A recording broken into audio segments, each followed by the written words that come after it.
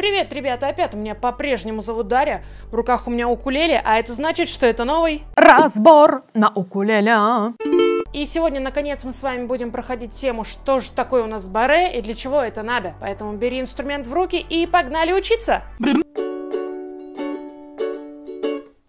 То есть мы должны сначала понять, что же такое баре. Баре — это прием игры, при которой вот наш указательный палец зажимает несколько струн или все полностью на одном ладу. То есть мы можем разделять баре как полное, так и неполное. Полное это имеется в виду, мы зажимаем все струны одновременно. Неполные это где три струны одновременно и две струны, соответственно, одновременно. Есть несколько вариантов записи баре. Первое, это самый простой, прям написали, там, подчеркнули, что это палка, значит у нас это будет баре. Есть запись, где пишут вот такой вот дугой. Это тоже будет считаться баре. И третий, мой самый любимый, то есть тут непонятно, или можно сыграть баре, или же можно сыграть, как написали. Соответственно, вот мы сейчас возьмем аккорд э, си бемоль, да, в этой записи не написали, что можно сыграть баре, поэтому можно пытаться как-то изощренно сыграть вот таким вот образом, ломая пальцы, ничего не будет звучать. А можно поставить баре намного проще и удобнее. Разбор на укулеле. Давайте же все-таки разберем, как правильно держать инструмент во время зажатия баре. Ну, во-первых, перво-наперво мы должны понять, что мы не зажимаем баре большим пальцем. То есть я видела, когда некоторые ребята разбирают песни и играют вот таким вот образом. Ни в коем случае большим пальцем мы не зажимаем баре. И в принципе мы не играем большим пальцем. Как мы помним, что большой палец у нас только держит гриф у нас за грифом чуть-чуть выглядывает, или вот полностью где-то у нас находится в этом пространстве. Баре играется только указательным пальцем, ну или иногда мы можем, конечно, помогать средним, но это чуть позже. Вот, разберем. То есть, если мы играем полное баре, да, то наш указательный палец немножечко выглядывает из-за грифа. То есть, не надо вот э, четвертую струна, мы на четвертой струне остановились, и все, нет, чуточку выше, чтобы у нас была твердое уверенное зажатие.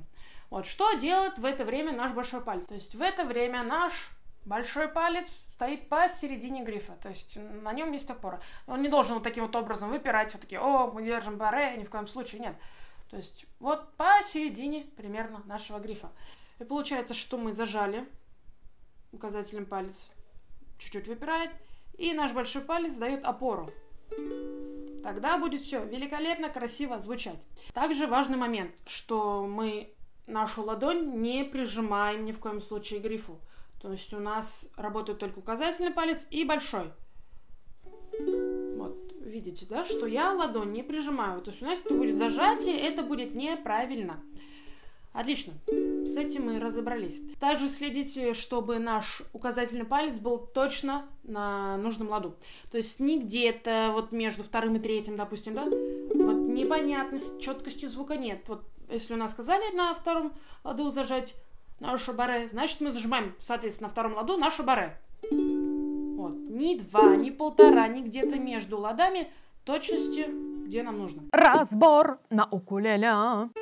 Также несколько упражнений, как же начать зажимать баре. Вы должны понимать, что это не сложно, потому что у нас нейлоновые струны, всего 4 струны. На гитаре, да, там нужно будет прям очень сильно постараться, конечно. А теперь немножечко практики. Если у вас слабые пальцы, то на первом на первых порах может получиться так. Вы зажали, вроде бы все сильно э, правильно делаете, но могут не звучать зажатые струны. То есть может получиться так.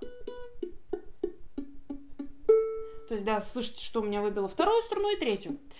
Вот, вы что-то стараетесь, нажимаете, зажимаете, но иногда выпадают какие-то струны. Поэтому вы можете помочь соседним пальцем третьим, как бы положить друг на друга. Проверяем. Отлично. Вначале вы можете помогать соседним пальцем. Когда вы уже обретете ту легкость игры, на разных ладах что-то потрунькали, можете стараться без поддержки.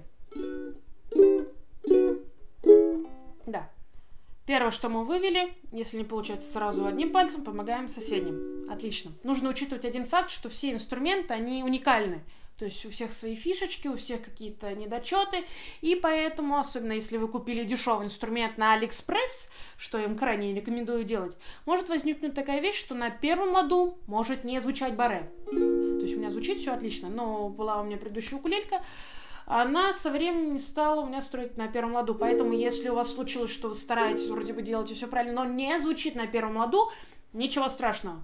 Это такая особенность вашего инструмента. Для начала мы должны прокачать наш указательный палец, поэтому мы играем нашу с вами баре на разных ладах в хаотичном порядке. Да, но при этом следите, чтобы все струны были слышны. То есть вы зажали баре, проверили. Отлично, все зажато, все звучит. Потом, допустим, переместились на пятый лад. Сыграли, проверили. Отлично, звучит. Погнали дальше. Может случиться так, да, или дребезжание какое-то, или... Угу, не дожала. Зажимаю еще раз. Уже лучше звучит. Отлично. Если понимаешь, что не хватает силы, помогаем соседним пальцем. Угу. То есть первое упражнение можете в хаотичном порядке, проверяя звук, зажимать баре на разных ладах. Когда мы уже полностью смогли это все делать, все отлично, круто, классно, усложняем немножечко задачу. Если вы играли с соседним пальцем, то есть, ну, теперь без поддержки также играем в разных ладах. Да, с непривычки сначала может болеть указательный палец после игры, но если вы будете каждый день уделять этому хотя бы 10-15 минут на эти упражнения, то под конец недели вы поймете, что да, круто, я уже могу зажимать баре. Есть следующее упражнение, там может быть множество вариаций, но я покажу парочку. Вы сами можете его модернизировать или повторить за мной. То есть, что заключается в этом упражнении? У нас стоит баре на любом ладу, и мы добавляем к этому другие пальцы. То есть, на первой стороне, потом на второй, на третий и на четвертый. Да, мизинцем может быть сложно играть, понимаю, мне тоже немножечко сложновато, поэтому сильно не переусердствуйте, понимаете, что тяжело начинает рука болеть, потихонечку добавляем. То есть сыграли, допустим, наше баре, добавили хотя бы средний и безымянный. Мизинец пока можете не трогать. В чем суть этого упражнения? В том, что мы не только теперь думаем о баре, но и думаем, какие добавить к этому струны. Разбор на укулеле. И, наверное, интересует всех вопрос, для чего же в принципе нам нужно уметь играть баре. Это, конечно же, все-таки развитие вашей игры. То есть вы не только будете основываться на самых простых аккордах, но уже можете что-то сыграть и аккордики с баре. Ну и, конечно же, простые аккорды вы можете преобразовать при помощи баре. Например, у меня есть аккорд до, аккорд С. И тот же самый аккорд я могу построить при помощи баре. Это очень удобно, когда у нас идет какая-то песня, и чтобы вот у нас там, допустим, песня состоит из четырех аккордов, три из которых с баре, и у вас аккорд до. То есть, представляете, да, не очень удобно, там, финты какие-то у вас тут так, сяк, и аккорд до. Ни к силу, ни к городу. Поэтому проще взять этот аккорд и перестроить в баре.